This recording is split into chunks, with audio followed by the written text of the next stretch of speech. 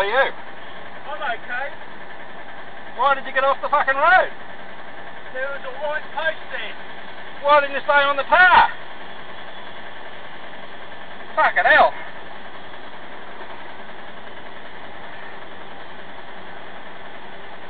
I got no idea